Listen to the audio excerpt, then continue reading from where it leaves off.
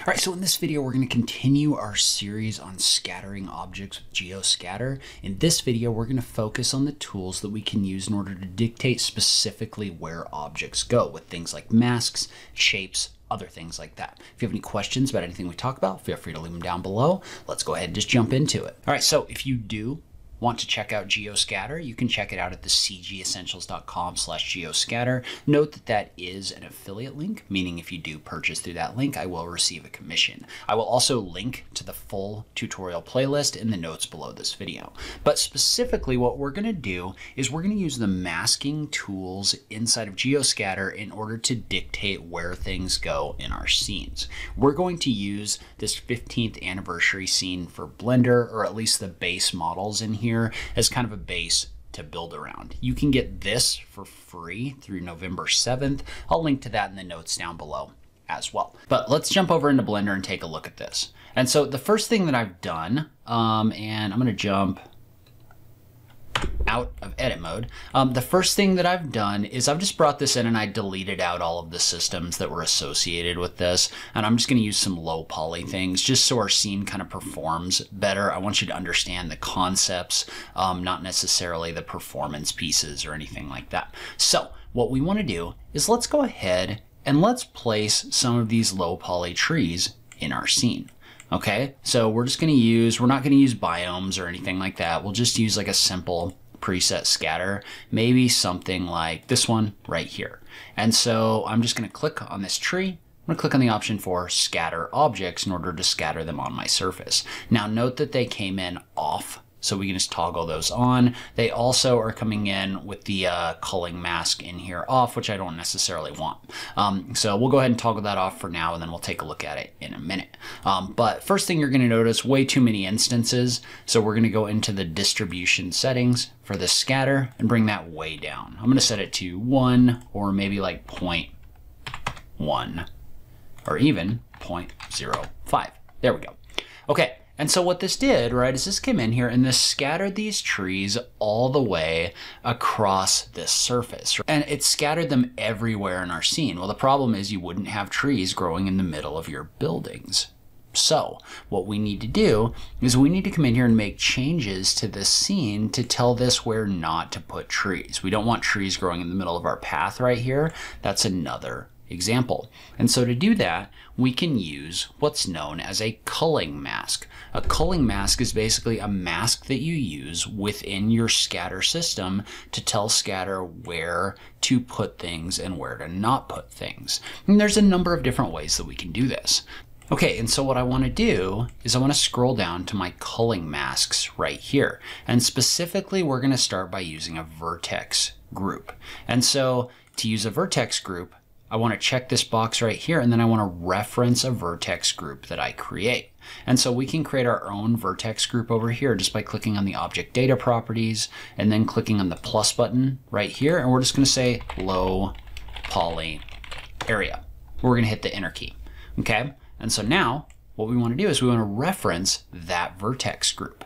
So in this case, right? I'm to click on low poly area right here. Well, notice how this then gives me the ability to create new vertex data. So if I click on this, this is going to jump me over into weight paint mode. And this is toggled on, so we're good here. And what I want to do is I want to start painting. And in this case, everything is set to zero. And so in this situation, I want to set my weight of my brush to one. Well, notice how when I do that, what that's going to do is that's going to let me paint in where these objects are going to go in my scene. So notice I can kind of paint around this right here, just like this. And so one thing that you could do if you wanted to is you could go ahead and tab into edit mode really quick. And within this vertex paint mode, you could go ahead and set everything to one and click on assign. And then if you jump back into weight paint mode right here, notice how everything is red and you can now set this where you can paint in a blue area like this. So now you're painting an exclusion area in here, right? An area where you want to remove this and everything else is going to be um, everything else, the scatter is going to be applied to it. Now you can also adjust the brush radius in here. If you want to make this a little bit bigger, that'll make your life a little bit easier. Um, but you can use this and notice how this is basically excluding anything within this white painted area that I have in here. Now, just one thing about this is note that you can also, within your vertex group area, you can click on the option to reverse. So when you click on the option to reverse, what that's going to do is that's going to swap your weights um, one way or the other. And so when you swap that, what that means is that means that now your painted area is going to be an inclusion area instead of an exclusion area. So you can use the swap button in order to swap what the painting means inside of your scene as well, like this. And so this is actually really easy to do and really easy to use as long as this object or this uh, your surface that you've uh, applied your scatter to has enough geometry, right? So this works great because um, it has a bunch of geometric detail in here, right? If you go into edit, edit mode right here, you can see that there's a number of different vertices. And so let's say that we wanted to create another scatter system that references this plane. And we'll go ahead and we'll do the same thing. We'll reference maybe this box tree object this time.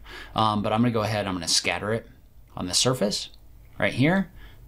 Make sure we toggle it on, make sure we don't have a culling mask on here. We're gonna bring this down like 0.05 again, right? So this object is a little bit of a problem if you try to use the vertex groups. And so the reason it's a problem is because it only has four vertices in here, right? So if I was to add a vertex group to this one, and we'll just call this trees and reference it,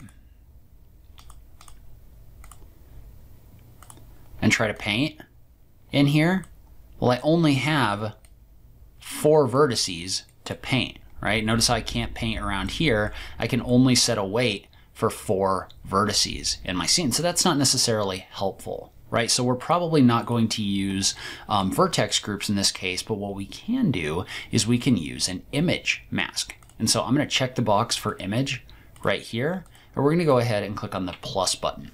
And so when we click on the plus button, what that's gonna do is that's gonna create a new image and you can take that image and you can actually do a paint on this surface. So if I click in here, I paint, and you're probably better off going into shaded mode right here, but notice how this is allowing me to paint in my model. So I can set my strength. We'll go ahead and make this a little bit smaller, but this is allowing me to paint in my model and it's generating an image that it's then using as a mask. So you can use the image mask function in order to create a mask on an object that doesn't have a whole lot of geometric detail. And then if you hold the control key in here, you're going to be able to paint with the other color, but notice how I can bring these trees back in. So if you want to mask things out or bring them in and you don't have geometric detail, use the image culling mask.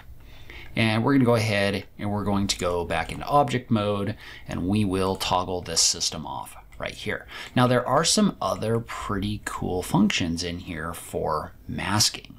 So we've talked up to this point about the image mask and we'll go ahead and jump back over here. We've talked a little bit about the vertex group mask and the image mask, but there's other options in here as well. So like for example, this Bezier area, you can use this to reference, I'm gonna toggle this vertex group off, you can actually create a curve or an area in here, and then you can reference that curve, and it's going to mask objects out wherever that curve is. So notice how I tab it, notice how if I tab in here and I adjust this curve like this, this is actually going to mask things out that are level with that curve. So you can actually draw a shape where you want things to be in here um, and use this to mask things out. And so the cool thing about this is if you have this uh, this curve selected, there's actually a little paintbrush in here um, that's going to pop up a draw curve mode. So when you click on the little paintbrush, notice what that does is that pops up this drawing mode. Well, now I can click and drag in my scene and notice how this is actually excluding things in my scene live while I'm drawing on this surface like this. So this actually does a really good job of allowing you to quickly add that in here. And just like before, note that there is the option in here and I'm gonna hit enter to confirm to swap or reverse this so that it only includes trees in the areas that you've drawn as well. And so another cool function that's in here is say that you just want to be a little more visual with this, right? So say that we create a box right here, and go ahead and apply the rotation and scale. And I'm gonna set this object to be just a bounds. So we'll go into the viewport display and set this to be just bounds right here. But you could also use a Boolean. And so with the Boolean, you can um, create a collection of objects. So in this case, I'm just going to create a collection. I'm just going to call it Boolean, but you can put a cube in that collection and then you can reference that Boolean collection right here. Well, now this is going to remove trees based on where that object actually intersects with that surface. So that actually gives you a ton of control in here over where these would be um, because you could make changes to this object, right? It's just a geometric object. So if I add a split in here and then say that I was to take this surface, maybe like extrude it out a little bit. Notice how it's using that shape in order to mask out where objects occur in geoscatter. All right, so another cool function is you can also mask out based on a material slot. And so let's say I was to select an area over here and I was to apply a different material, right? So we're gonna apply this uh, soil sand material over here. So something a little bit different. Well, what you can do is within the material slot, you can check the box and tell it to mask out where a certain material happens. So notice how I'm able to use the material in order to mask out where objects are. So if you have a surface where you've painted like soil versus rocks or something like that, you can actually tell this, hey, wherever rock material is, don't show trees. So that's a pretty interesting way to be able to mask out where objects are placed as well. All right, then lastly, I'm gonna go ahead and bring um, in a low poly rock object right here just as kind of an example, there is also an option in here to use an object as a mask. So if I was to select or an object, but it doesn't actually have to be intersecting with anything in your scene. So I'm gonna take this object and I'm gonna apply my rotation and scale, but notice how this option for upward obstruction is going to allow you to select an object or a collection. Um, actually just a collection, but I'm just gonna call this one upward